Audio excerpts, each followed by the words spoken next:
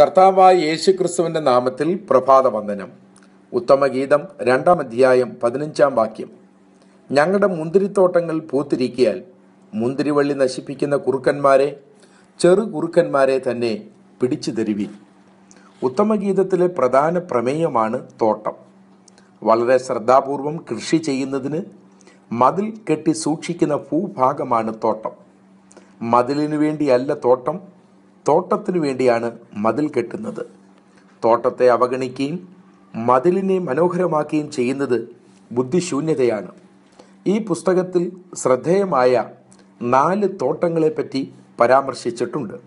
നാലിന്റെ പന്ത്രണ്ട് കെട്ടിയടച്ചിരിക്കുന്ന തോട്ടം നാലിന്റെ പതിനാറിൽ പൂന്തോട്ടവും ആറിന്റെ രണ്ടിൽ സുഗന്ധ സസ്യങ്ങളുടെ തോട്ടവും ആറിന്റെ പതിനൊന്നിൽ ഫലം നൽകുന്ന തോട്ടത്തെപ്പറ്റി രേഖപ്പെടുത്തിയിരിക്കുന്നു. തോട്ടത്തിൽ എന്താണോ കൃഷി ചെയ്യുന്നത് അതിന്റെ ഫലം മാത്രമേ എടുക്കാനും അനുഭവിപ്പാനും കഴിയത്തുള്ളൂ. വിതച്ചത് നല്ലതാണെങ്കിൽ കൊയ്യുന്നതും നല്ലത് തന്നെയായിരിക്കും യജമാനന്റെ തോട്ടത്തിൽ നാം ഒരു പൂമരം ആയിരിക്കണം പാഴ്മരം ആകരുത്. പൂന്തോട്ടത്തിൽ ഇളങ്കാറ്റ് വീശുമ്പോൾ പുറത്തേക്ക് പ്രവഹിക്കുന്നത് സൗരഭ്യം ആയിരിക്കും.